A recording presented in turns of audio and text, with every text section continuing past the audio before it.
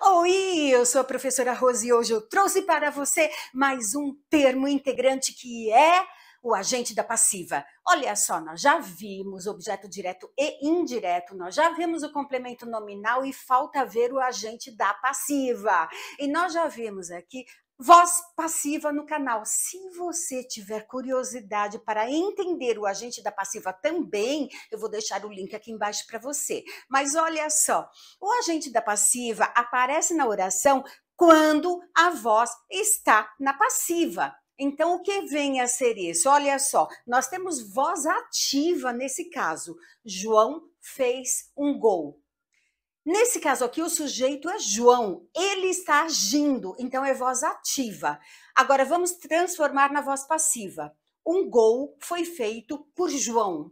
Nesse caso, quem é que está agindo aí? João. Ele é o agente da voz passiva, ele é o agente da passiva. É ele que está agindo, é ele que está fazendo o gol. Por isso ele é o agente da passiva, porque é ele que está agindo.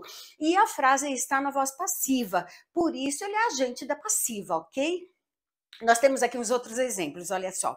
Todos os vizinhos foram acordados pelo barulho. Se nós colocarmos na voz ativa, nós já vamos ver que pelo barulho é o agente da passiva, porque é ele que está agindo na voz passiva. Se nós colocarmos na voz ativa, vai ficar assim.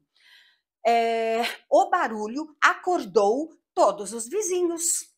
Tá? Agora, olha o outro exemplo. Os alunos foram auxiliados pela professora. Quem é que está agindo? Quem é o agente da passiva? A professora. Olha só, a professora auxiliou os alunos. Então, quem é que está agindo? A professora. Como está na voz passiva, então ela é o agente da passiva e não o sujeito, tá? A casa está cercada pelos policiais. Qual é o agente da passiva? Os policiais. Então, se nós colocarmos na voz ativa, vai ficar assim: é, policiais cercam a casa, tá? Então, é, se nós colocarmos na voz ativa, vai ser o sujeito simples, os policiais. Mas como está na voz passiva, ele é o agente da passiva, porque ele está agindo. Olha só. A enxurrada descia pela avenida com violência. Aí nós temos voz passiva? Não, porque o sujeito está agindo. Nós temos aí a voz ativa, nós não temos voz passiva. Por isso, nós não temos o agente da passiva nesse caso, entendeu? Eu só coloquei aqui para mostrar a diferença que há entre voz ativa e voz passiva. Na voz ativa, o sujeito age. Na voz passiva, é o agente da passiva que age, ok?